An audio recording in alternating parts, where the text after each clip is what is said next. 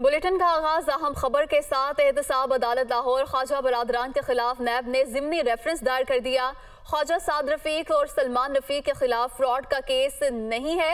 नैब reference का ये मतन है, मजीद तफसी जानते हैं नुमाइंदा मोहम्मद अशफाक से। जी अशफाक बताइए गए इस हवाले से? जी बिल्कुल, लाहौर की एहतसाब अदालत में ख्वाजा बरदरान से मुतलिक रेफरेंस की समात हुई और इस मौके पर नैब ने मुलजमान का नया जिमनी रेफरेंस दायर कर दिया।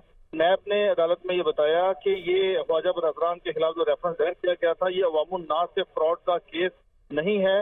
अदालत ने नैब के जमीनी रेफरेंस के बाद अदालती दायरा अख्तियार से मुतलिक आइंदा समात पर वकला से मुआवनत तलब कर ली। एहतसाब अदालत की जज ने कहा कि आइंदा समात पर मुकम्मल तफसीली दस्तावेजात अदालत में पेश की जाए। दीगर अफराद को प्लॉट मिल चुके हैं। ये कहना था नैब के तफ्तीशी अफसर का।